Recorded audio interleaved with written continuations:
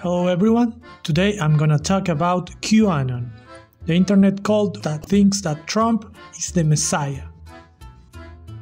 QAnon is a far right conspiracy theory. It alleges that a cabal of Satan worshipping pedophiles is running a global child sex trafficking ring and plotting against US President Donald Trump, who is battling against the cabal. The theory also commonly asserts that Trump is planning a day of reckoning, known as the Storm, when thousands of members of the cabal will be arrested. No part of the theory is based on fact. Although preceded by similar viral conspiracy theories such as Pizzagate, the theory proper began with an October 2017 post in the anonymous image board 4chan by Q, was presumably a single American individual. It is now likely Q has become a group of people. Q claimed to be a high level government official with Q clearance who has access to classified information involving the Trump administration and its opponents in the United States. NBC News report that three people took the original Q post and spread it across multiple media platforms to build an internet following. Q has accused many liberal Hollywood actors, Democratic politicians, and high ranking officials of being members of the cabal. Q also claimed that Trump feigned conspiracy with Russians to enlist Robert Mueller to join in exposing the sex trafficking ring and preventing a coup d'etat by Barack Obama, Hillary Clinton, and George Soros. QAnon adherents began appearing at Trump re-election campaign's rallies in August 2018.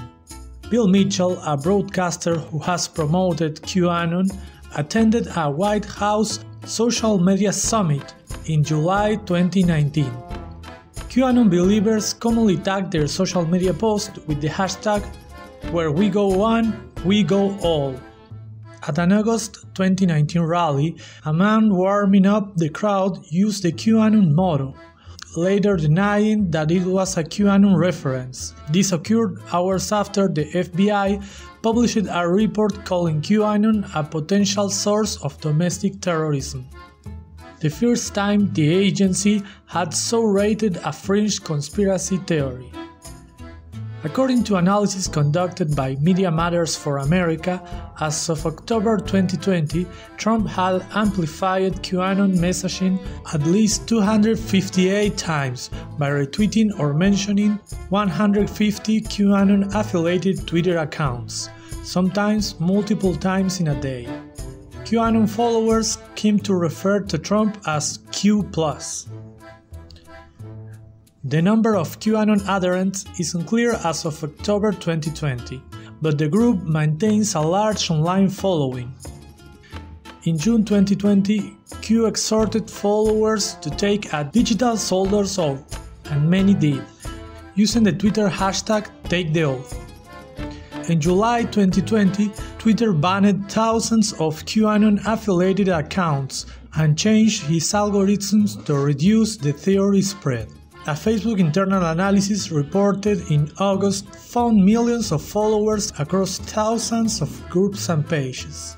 Facebook acted later that month to remove and restrict QAnon activity, and in October it said it would ban the conspiracy theory from its platform altogether.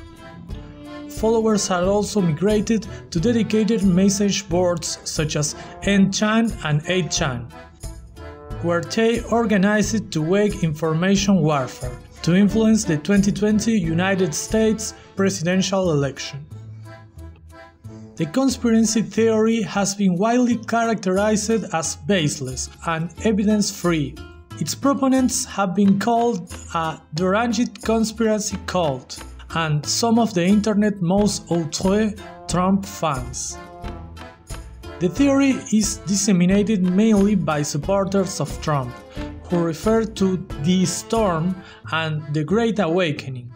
QAnon precepts and vocabulary are closely related to the religious concepts of millenarianism and apocalypticism, leading it to be sometimes construed as an emerging religious movement. QAnon adherents while seeing Trump as a flawed Christian, also view him as a messiah sent by God.